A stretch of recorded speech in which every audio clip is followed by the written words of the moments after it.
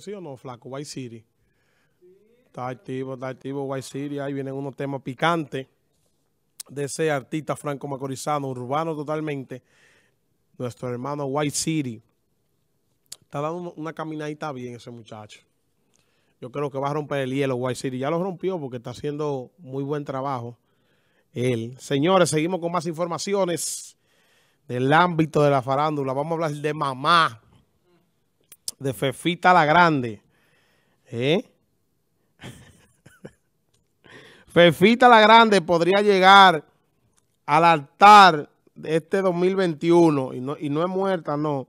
Aunque han pasado dos años desde que la merenguera de música típica, Fefita la Grande, le propusieron matrimonio, la gran soberana aún lo está pensando.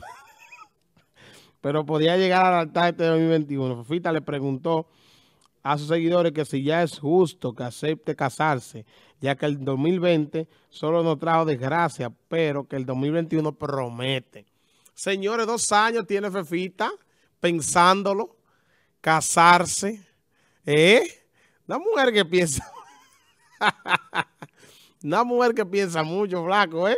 Sí, porque ya no quiere dar ese paso tan comprometedor en su vida que es usted casarse.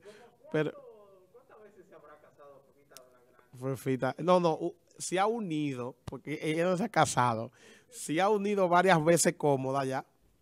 Eh, la dama del acordeón, Fefita Grande, pero yo creo que se le está yendo la mano, Fefita.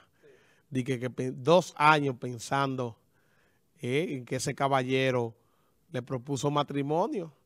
Y ella como que no quiere, ella quiere seguir su vida de soltera, pienso yo. Está enamorado, eh. No, pues eso es amor. Eso es amor del bueno, yo creo.